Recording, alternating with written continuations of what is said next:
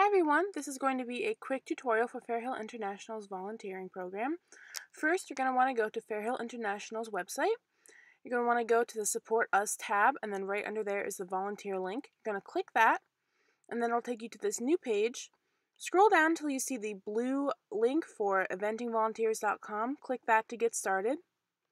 If you're not signed up yet, you're going to want to click I'm a volunteer, and you'll click the blue sign up button.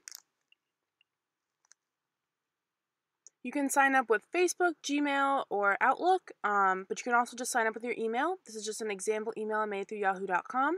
So you just want to enter in whatever email you want to use and then uh, pick a password. Then you'll click the sign up button down there. You will get a confirmation email sent to you, the email that you put in. This is where a lot of people get lost, so make sure you look out for it. Check your spam um, folder and all that. It's going to look exactly like this and it's going to have a link for you to click to confirm your account.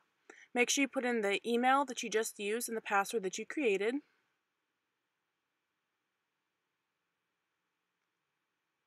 And then you'll just click login.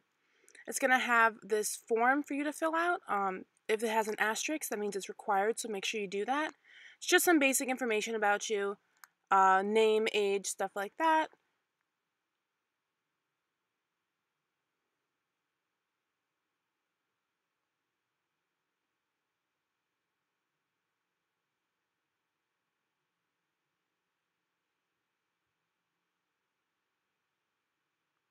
There will also be an emergency contact information form for you to fill out. Um, those are starred or asterisked, so make sure you fill that out because it's required.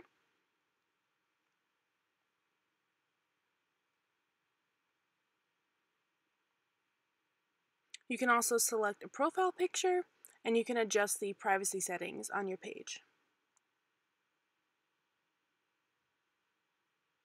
Once you're all done and happy with the information, just click Save. It's going to take you to your volunteer dashboard where there's a few links for you.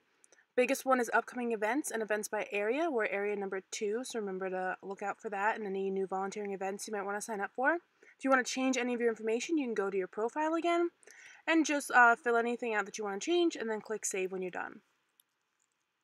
Thank you.